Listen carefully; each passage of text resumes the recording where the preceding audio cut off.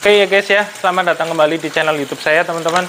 Hari ini kita akan bahas mengenai beberapa pertanyaan dari teman-teman subscriber. Uh, barangkali pertanyaan-pertanyaan itu berguna untuk teman-teman ya. Jadi untuk tutorial cara perawatan-perawatan baby atau mungkin uh, yang udah jumbo-jumbo itu bisa juga ya teman-teman.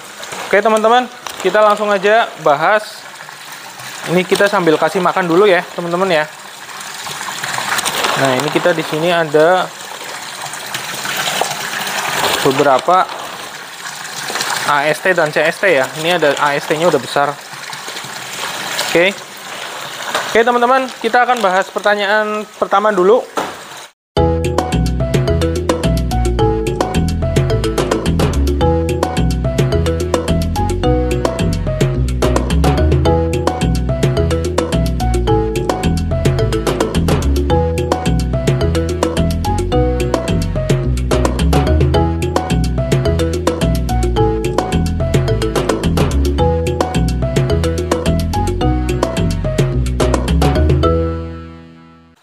Pertanyaan pertama yaitu uh, bedanya hidung meler karena dehidrasi sama karena pilek beneran gimana kok? Kalau misal karena dehidrasi pas dia meler apa aman direndam air suhu normal apa enggak nambah meler? Oke, okay, uh, eh, pertanyaan ini bagus teman-teman.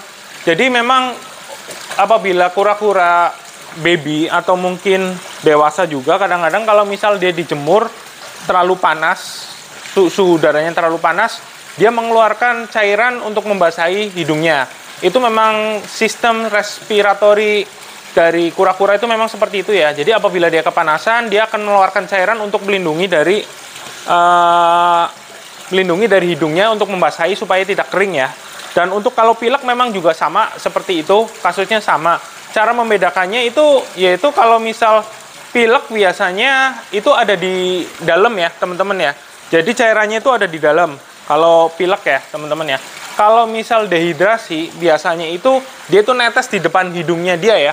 Jadi teman-teman nanti bisa ngelihat di hidung dia, itu kalau misal pilek itu dia masih ada di dalam, teman-teman. Cairannya itu masih di dalam hidung, biasanya itu nutupin hidungnya ya, nutupin lubang hidungnya.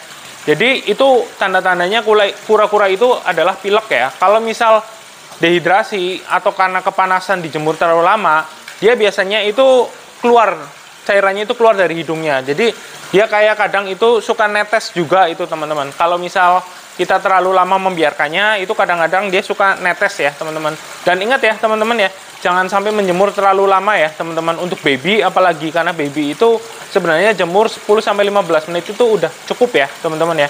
Udah cukup cukup banget sih untuk membantu dia dalam pencernaan dia. Itu udah cukup. Jadi untuk penjemuran jangan terlalu lama Terus juga kalau misal dehidrasi pas dia meler apa aman direndam air suhu normal. Jadi untuk perendaman itu baik kura-kura yang sedang pilek atau sedang uh, dehidrasi itu nggak masalah ya teman-teman kalau direndam menggunakan air hangat ya.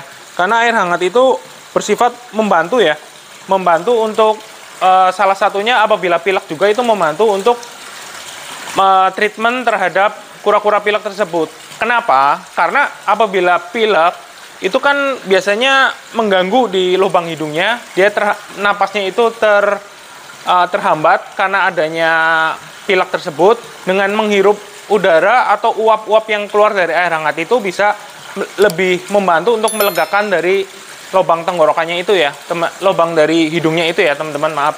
Nah jadi dengan merendam itu nggak masalah teman-teman, cuman frekuensinya aja yang dikurangin.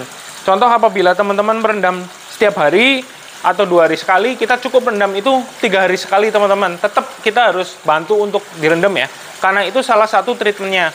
Apabila teman-teman uh, memiliki obat-obatan, contoh misal uh, reptil nose atau obat apa yang direndam itu di dalam air, boleh dipakai itu. Jadi untuk membantu melegakan pencernaan pernapasan dia ya, teman-teman ya.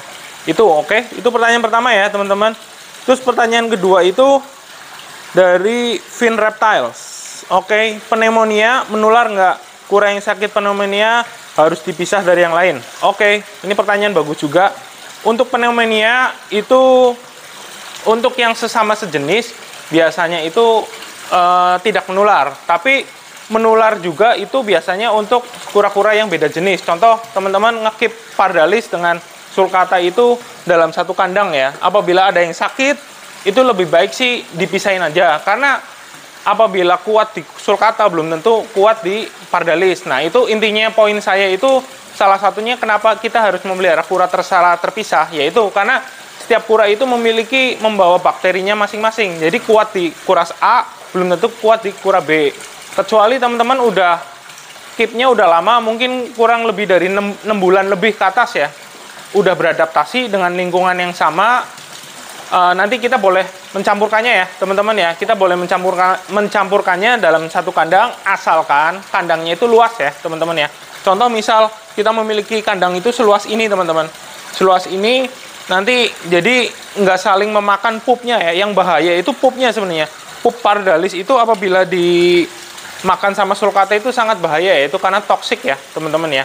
Uh, terus juga untuk saran saya sih untuk pneumonia ya teman-teman walaupun terhindar dari menular atau enggak lebih baik lebih baik. Karena pneumonia itu kan dari virus atau bakteri ya teman-teman penyebabnya. Jadi lebih baik kalau ada yang sakit terkena pneumonia lebih baik dipisah. Lebih baik dipisah ya teman-teman ya. Itu nanti walaupun menular atau enggak lebih baik dipisah teman-teman. Lebih baik kita jangan mengambil resiko apabila ada kura sakit kita campurkan dalam satu kandang. Karena kemungkinan juga masih bisa menularkan ya teman-teman ya.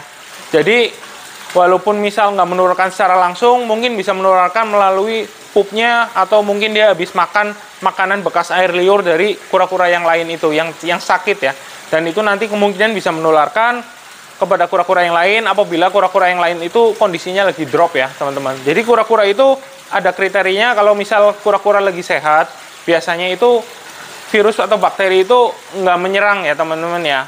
Jadi mereka memiliki imun ya. Tapi kalau misal pas lagi drop, kita kan nggak tahu kura-kura drop atau seperti apa. Sama seperti kita ya teman-teman ya. Kalau kita lagi sehat, mungkin kita kemungkinan untuk sakit itu kita kecil ya. Tapi kalau kita lagi kondisi lagi drop, lagi capek, kurang tidur, terus kita berdekatan dengan teman kita yang sakit, kemungkinan kita bisa tertular. Analoginya sih seperti itu teman-teman. Jadi untuk kura-kura juga stay safe aja. Jadi lebih baik kita memisahkan kura-kura yang lagi sakit, jangan satu kandang ya. Oke, pertanyaan selanjutnya itu dari Yusman Sani. Kak, kalau baru awal miara kura-kura darat, gimana tips dan perawatannya? Kalau dialasin koran gitu, ada kemungkinan dimakan nggak korannya sama kura-kura? Oke, uh, untuk tips-tipsnya sebenarnya saya udah bikinin video, banyak video mengenai tips-tips cara perawatan kura-kura dari baby sampai dewasa juga, sampai jumbo juga ada tips-tipsnya Nah, terus untuk alas saya jawab jawab pertanyaannya aja. Tips perawatan yang pertama adalah kita harus menyediakan uh, lampu dulu ya. Paling utama adalah lampu, yaitu lampu UVA dan lampu UVB. Jangan salah ya, UVA dan UVB ya, bukan yang digabung. Kalau ada yang kan ada lampu kecil, uh, keterangannya lampu UVA dan UVB itu bukan teman-teman, itu adalah lampu UVA. Jadi untuk lampu UVB itu terpisah ya, ada sendiri khusus lampu UVB. Itu ada di marketplace, teman-teman searching aja kalau misal mau UVA dan UVB, carilah yang lampunya itu besar ya, minimal 40 watt. Itu ada, yaitu dari produk Exotera juga ada, ataupun dari produk-produk merek lain, tapi yang labelnya UVA dan UVB. Itu harganya nggak, murah teman-teman, di atas 300 ribu ya harganya ya.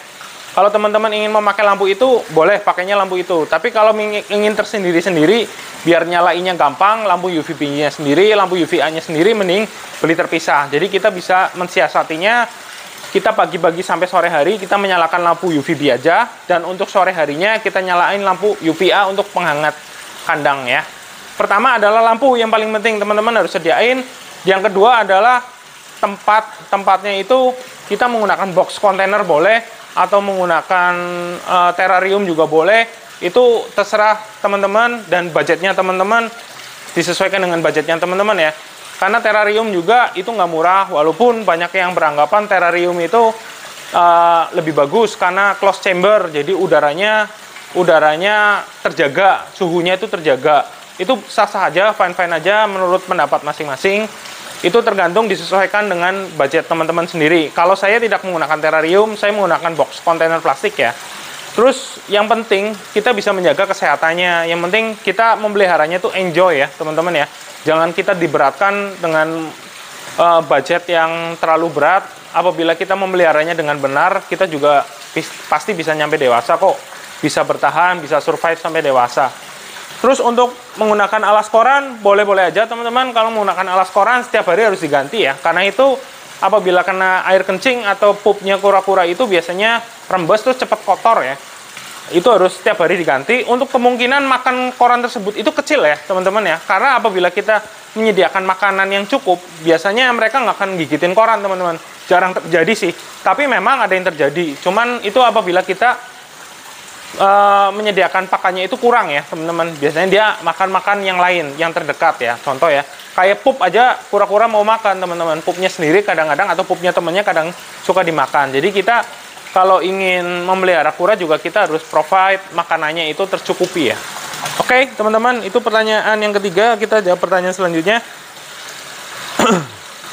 Dari Jujenki, ini apa karena sakit pilek ya? Treatment force feed sih, obatnya berapa lama ini sampai mau makan sendiri? Saya punya RF juga mogok makan dua hari ini.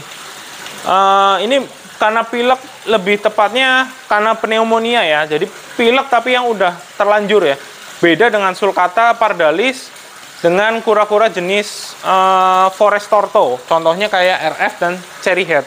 Mereka kalau misal pilek tidak menunjukkan gejala pilek, tapi pileknya ada di dalam ya teman-teman ya. Jadi kita nggak akan tahu di mereka pilek atau enggak, tapi tiba-tiba dia langsung jatuh sakit dan nggak mau makan ya teman-teman ya. Jadi teman-teman harus benar-benar uh, observasi ya terhadap cherry head maupun parda eh cherry head maupun red food teman-teman harus benar-benar mengetahui kondisinya teman-teman. Kalau misal sulcata dan pardalis kita tahu kalau dia lagi pilek karena dia ada hidungnya tersumbat atau uh, ada yang menghambat di hidungnya itu biasanya karena pilek. Tapi kalau untuk RF dan cherry head itu tidak ya teman-teman ya.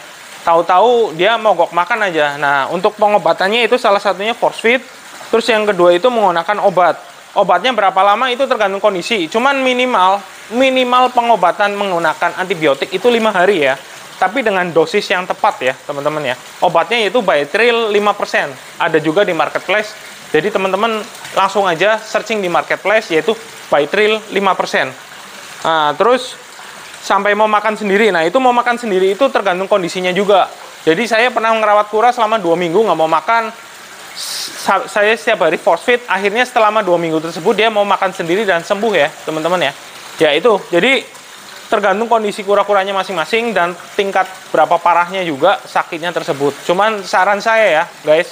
Jadi saran saya lebih baik kita mengobatan itu minimal lima hari. Selama lima hari tidak tidak tidak sembuh jadi kita tetap mengobatinya itu. Karena e, pencernaan dalam penyerapan obat kura-kura tersebut itu agak lama ya teman-teman ya Cuman minimal itu lima hari. Jadi lima hari udah sembuh, kita stop obatnya. Kalau misal belum sembuh, kita lanjut sampai kura-kura tersebut sembuh ya, teman-teman. Sampai dia mau makan sendiri. Oke. Terus pertanyaan selanjutnya adalah dari Yolo. Tulang sotong itu kan juga dari hewan, kenapa diberikan? Bukan dagingnya ya teman-teman ya, tapi tulangnya ya. Kalau tulang itu kan nggak masalah karena mengandung kalsium ya teman-teman ya. Jadi bukan dagingnya, tapi tulangnya. Bukan kalau hewan itu kan yang dikategorikan hewan adalah dagingnya atau bagian anatomi lain yang lai yang lainnya. Tapi kalau tulang nggak apa-apa teman-teman karena apabila kita memberi, memberikan kalsium juga kita beli beli dari uh, marketplace contoh yang udah jadi kalsium cair atau kalsium kalsium yang bubuk itu juga terbuat dari tulang sotong ya teman-teman ya bahannya ya. Uh, kalsium itu memang terbuat dari makhluk hidup teman-teman. Jadi teman-teman nggak usah khawatir pemberian tulang sotong itu aman atau enggak nggak masalah teman-teman. Oke? Terus pertanyaan selanjutnya kok kalau saya gabungin baby sulcata 1 sama baby radiata aman nggak so far kalau baby sulcata dan radiata nggak apa-apa teman-teman karena saya juga memeliharanya seperti itu. Cuman saya nggak nggak bisa bilang aman atau enggak ya. Nanti saya banyak diprotes sama para pencinta kura ya. Lebih baik sih saya rasa dipisah aja teman-teman. Karena ya seperti itu teman-teman. Kita nggak tahu mereka sakit atau enggak yang satu sama lainnya. Nanti kadang bisa menularkan karena bakteri kura radiata dan bakteri sulcata itu masing-masing berbeda. Jadi barangkali sulcatanya kuat terhadap bakterinya dia sendiri belum tentu radiatanya kuat. Demikian pula sebaliknya. Cuman kalau teman-teman udah melihara lama selama enam bulan mau dicampur juga nggak apa-apa sih. Karena kita udah tahu mereka tuh steril karena kita udah rawat secara lama dan mereka sehat selama enam bulan. Oke. Saya rasa itu aja teman-teman. 5 pertanyaan yang udah saya sortir dan pertanyaannya ini bagus-bagus banget ya, teman-teman ya. Jadi teman-teman keep watching video ini karena pertanyaan ini sangat membantu untuk teman-teman dalam memelihara kura-kura darat. Oke, teman-teman. Uh, thank you teman-teman yang udah menonton video saya dari awal sampai akhir. Jangan lupa untuk like, comment, dan subscribe. See you next video. Bye-bye.